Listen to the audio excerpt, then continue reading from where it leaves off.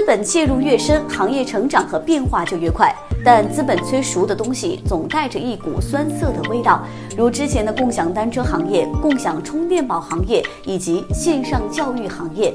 逐利是资本的本性，但不能无下限的逐利。五块钱甚至十块钱一小时的充电宝，一小时三五块钱的共享单车，虚假宣传制造焦虑的在线教育，都是资本催生出来的怪物。共享的本质是资源再利用，教育的本质是健全人格。杜绝资本的无序扩张，箭在弦上。有时候，他们带来的麻烦远比我们带来的进步要多得多。因此，有些行业我们不能让资本介入，有些行业则要限制资本介入，有些行业则要引导资本介入。近几年，在颜值及正义的大流下，越来越多的新生代年轻人开始关注自己长得好不好看。一笔整形费用动辄几千上万的价格，让资本红了眼睛。爱美克、华西生物等企业的上市，让资本看到了更多的可能性，动辄成本价格只有三四十块的玻尿酸出厂价就达到了两三千元，到终端的价格更是可以夸张到上万元。那么究竟是谁在主导这场疯狂的爱美运动？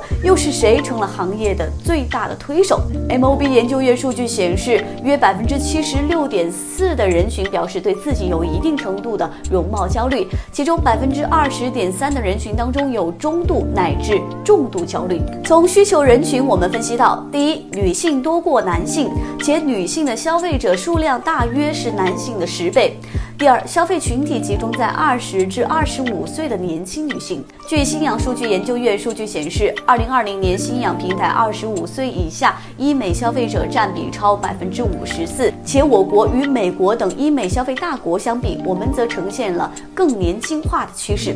目前，我国已经是全球医美第二大消费国了，这是经济发展带来的正向需求。有数据统计显示，二零一二年至二零一九年，中国的医美行业复合增长率超过了百分之二十八，市场规模也达到了一千七百六十九亿元。预计二零二一年，医美行业的市场规模将达到二千二百七十四亿元。当爱美克、华西生物等企业的造富效应让市场看到了更多的可能性，行业就开始不在乎稳。于是这两年，医美行业一直在扩容，一直在加速。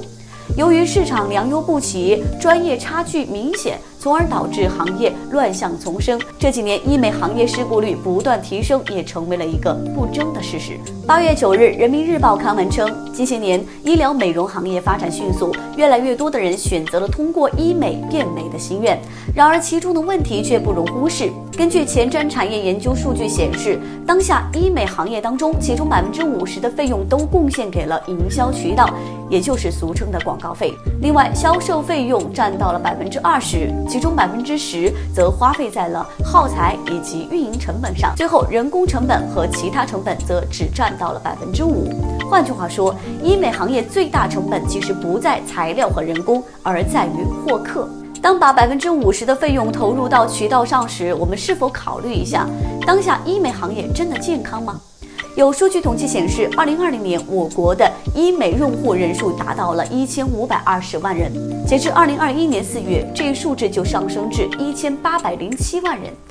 医美用户的高速增长让资本嗅到了金钱的味道。爱美客的上市，资本用真金白银堆出了一千三百五十七亿的市值，然后在标杆作用的带动下，越来越多的资本涌入赛道。但资本催熟行业，也给市场带来了更多的急功近利，这显然不是一个好兆头。一个年营收七点零九亿元、净利只有区区四点四亿净利润的企业，撑得起一千三百五十七亿的市值吗？如此暴利的行业现状下，合法医美店铺究竟有多少？前瞻产业研究院数据显示，中国非法经营的医美店铺超八万家。二零一九年，中国医美机构合法经营仅占市场的百分之十四，而非法经营的医美机构占百分之八十六。